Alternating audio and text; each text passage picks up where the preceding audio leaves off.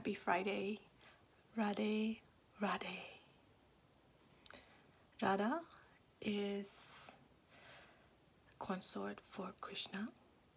So today I just want to acknowledge the divine feminine, Sita, Radhe, Devi, Ma, and regardless of your gender, it's really the divine feminine and celebrating the divine feminine within us and the Devi, Mother Earth, our mothers, our aunts, our grandmothers, the wise feminine voice within us. Take this time to be patient with ourselves, to listen to ourselves, and to practice loving kindness. And even though you might be having a difficult day, people don't understand you, people don't appreciate you, uh, you might feel neglected by others, or it might be just simply challenging, is to put a hand to your heart and know that Mother Devi has got your back. Okay? And that's just this recognition of the Mother, of the Divine Feminine. Durga, Kali. So, this huge power within the feminine deities, feminine goddesses. On the mural back there is uh, green Tara as well. So, in order for enlightenment, for spiritual advancement, we need to seek the divine feminine's help. And they manifest and they birth the reality. So, without Sita, there's no Shiva. There's Radhe and there's Krishna. Vishnu, there is Lakshmi.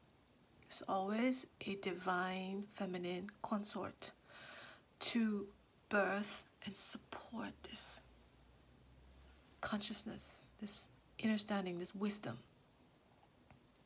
So, all that to say is that in this society, we are very go, go, go, go, go, go, go, very masculine, very aggressive, you know, very dominating. You know, that can be counteracted by practicing a bit more patience, tolerance, creativity, and just feminine embodiment. Like the water, flow like the water, like Mother Ganges, Mother Ganga, Yamuna.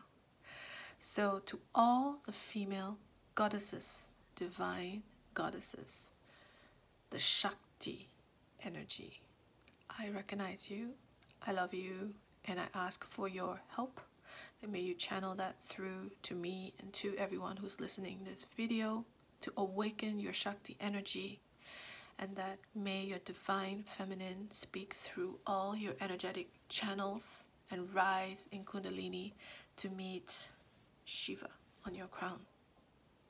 That may you be awakened, that may you be in perfect balance and harmony within you so that you birth miracles into your life and your life is a beautiful flow of love and surrender to God, cosmic oneness.